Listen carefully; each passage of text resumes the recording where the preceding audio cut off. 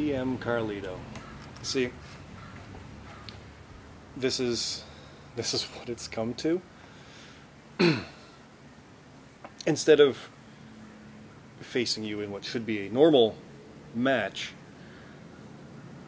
we're doing this from a hardware store. But it's not just from a hardware store. There's also fun and games because it's a mirror maze TLC.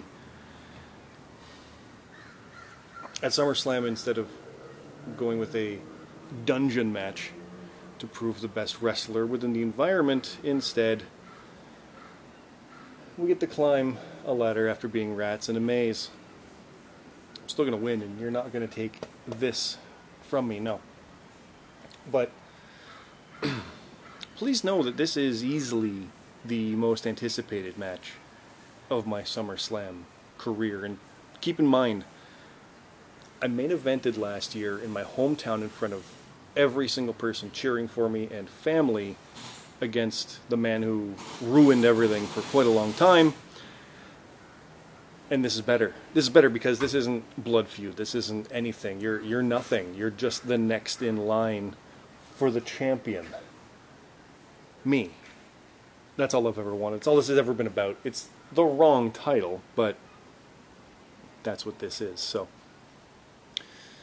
so when when we get into the mirror maze and we see what happens, it's uh, it's fun to play by whatever rules you want. So we'll see what happens, and oh, oh, we're gonna have fun the day before because Tigress, yeah, you and I have unfinished business after that.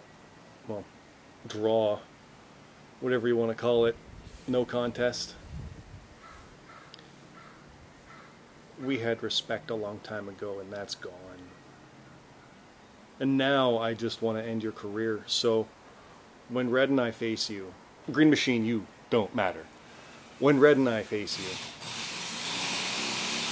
hear that? That's that's going to be the sound of the surgeries that you have, because I'm going to break your neck.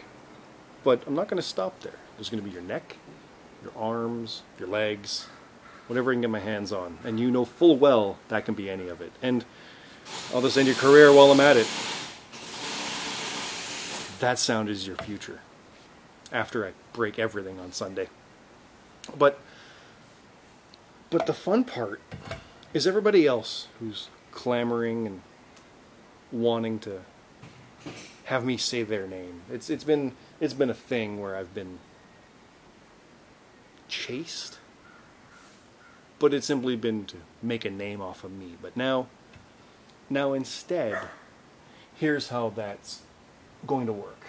I'm going to take this and dangle it over all of you down there. See, that's where you've always been, but now that's where you all belong.